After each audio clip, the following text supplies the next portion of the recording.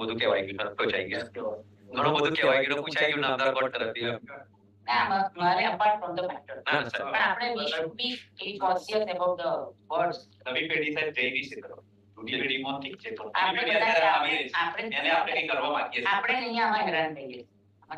علیکم ورحمۃ اللہ وبرکاتہ آج کورٹ کے اندر کیا ہوا بیل کو لے کر کے پہلے وہ ویڈیو دیکھیں گے کورٹ کے اندر کی کہ جس میں مفتی سلمان اظہری صاحب کے وکیل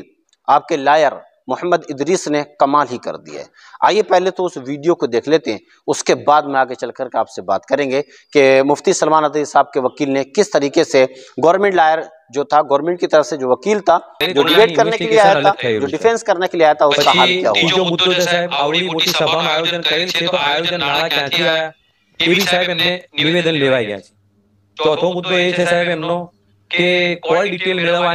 کیا ہوا આરોપીની સાહેબ પ્રત્યક્ષ હાજરીની જરૂર નથી એ સાહેબ કબજે કરેલી છે બીજું કે સાહેબ એમને કીધું હા છે તે સાહેબ પોલી નંબર છે અહીંયા અહીંયા પછી એ મોબાઈલ લેવા એક સર આજે આજે સવારે એમના પહોંચ્યા છે સર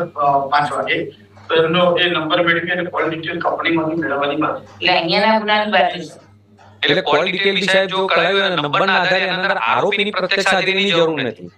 પાંચમો મુદ્દો સાહેબ એવું છે કે અઝહરીનું કેનેરા બેંકમાં સાહેબ હુબલીમાં એકાઉન્ટ છે એકાઉન્ટ લેવા માટે પણ સાહેબ આરોપીની હાજરીની જરૂર નથી પોલીસને સાહેબ પાવર છે ગમે ત્યાંથી ગમે તેને એકાઉન્ટ મેળવી શકે છઠ્ઠી સાહેબ કે એમને જે જે મુદ્દા બતાવ્યા છે છઠ્ઠી કે સાતમી સોશિયલ મીડિયામાં એકાઉન્ટ છે તો સાહેબ એમને ખબર છે આઈયુનો કેમ કે એમને કહ્યું કે YouTube ચેનલ ઉપર એમનો વિડિયો છે YouTube ચેનલ છે સાહેબ નંદરી સાહેબ પ્રત્યક્ષ હાજરીની જરૂર નથી અને જે બી જે બી સાહેબ રિકવરી કરવાની હોય કે જે કઈ વાત છે નંદર સાહેબ આરોપીની પ્રત્યક્ષ હાજરીની જ્યારે જરૂર ના હોય તો તેવા સંજોગોના અંદર સાહેબ can not granted the remand sir એ સાહેબ જો ડોક્યુમેન્ટ આધારિત સાહેબ જે ગુના હોય અને બીજી કે આરોપીની ગેરહાજરીની અંદર ઇન્વેસ્ટિગેશન જો થઈ શકતું હોય એવા સંજોગોમાં સાહેબ રિમાન્ડ આપવાની જરૂરિયાત રહેતી નથી સાહેબ અને અને આરોપી સાહેબ એમના કબજામાં છે એટલે સાહેબ એક બે બે જજમેન્ટ છે સાહેબ જયરાજસિંહ જાડેજાનું સાહેબ પ્રોમિનન્ટ જે જજમેન્ટ છે અગિયાર મુદ્દાઓનું આ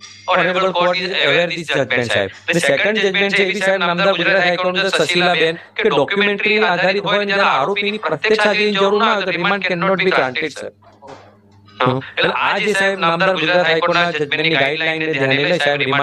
કરવા જોઈએ અને સવાલ સાહેબ રહ્યો બીજા સાહેબ ચાર દિવસના આપવામાં આવેલા છે સાહેબ મારું કેવું છે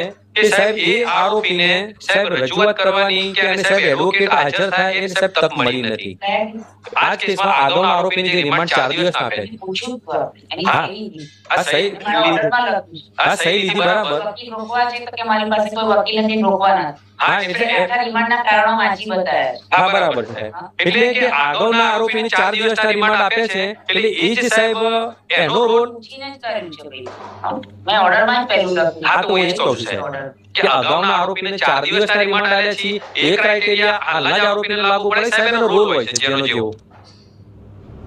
دس ریم نام کر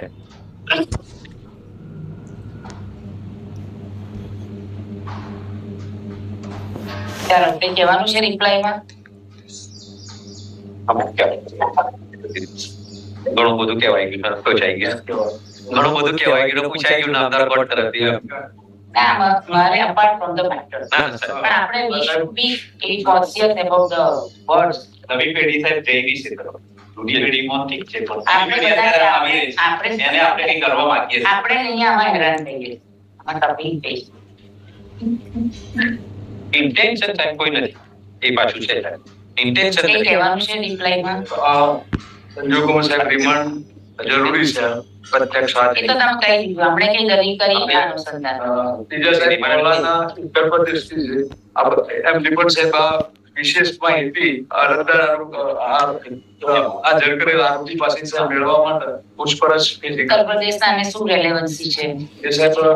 આ વડે અંતા છે લખ્યું છે ને કે ચાર મોલવી આવ્યા ત્રણ મોલવી કઈ ઓનલાઈન દેખાતું નથી ઉત્તર શબ્દ બોલે મને વિદ્યાર્થી એટલે કે પ્રદેશ વાળા બોલ્યા છે તો પછી તે બોલ્યા છે એની વાત કરો ને ફંડ ની વાત છે બરાબર છે ફંડ ની વાત બરાબર છે કે આ એકાઉન્ટમાં કોણ કોણ પૈસા આપે છે ફંડમાં શું કેવી રીતે આવે છે યુટ્યુબમાં કોઈ કોણ ચલાવે છે વોટ ઇઝ ધ પર્પસ ક્યાંથી ચલાવે છે આ પહેલા પણ કોઈ આવા ભડકા ઉભાસણો છે કે કેમ એ બધું ડેટા એનાલિસિસ કરવું પડે એને જોડે રાખીને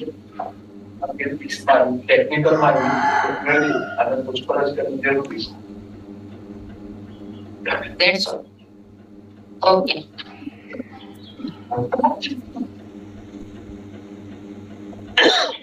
ચાલો બાકી બધા બહાર જાઓ મારે અહીંયા ઓર્ડર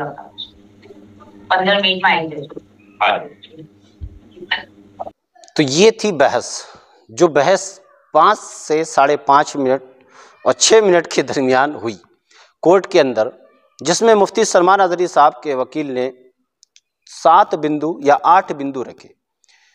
اور اس کے اوپر فیصلہ ہونا تھا کہ مفتی سلمان نظری صاحب نے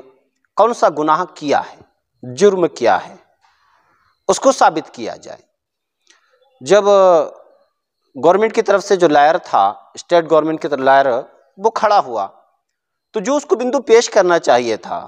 وہ بندو وہ پیش نہیں کر پایا بھاشا جو ہے گجراتی ہے جو لوگ سمجھ پاتے ہوں گے وہ اس کو سمجھ گئے ہوں گے لیکن کچھ کچھ اس میں سے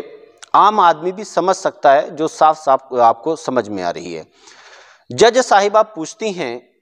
کہ آپ کچھ کہنا چاہتے ہیں تو اسٹیٹ گورمنٹ کے گورنمنٹ کا لائر کیا کہتا ہے کہ مفتی سلمان نظری کا ایک یوٹیوب چینل ہے اس میں کیا ہے وہ تو پوری دنیا دیکھ رہی ہے بات ہوئی اتر پردیش کے اندر ایک بیان دیا گیا تھا یہی بیان جو میں نے آپ کو پہلے ویڈیو میں دکھایا تھا تو جج صاحبہ نے کہا وہ اتر پردیش کے اندر بیان دیا گیا تھا اس بیان سے گجرات کا کیا لینا دینا تو جج صاحبہ بھی اس کے اوپر جو ہے غصہ سے ہوئیں لیکن اس کے پاس میں کوئی جواب نہیں تھا تو جج صاحبہ نے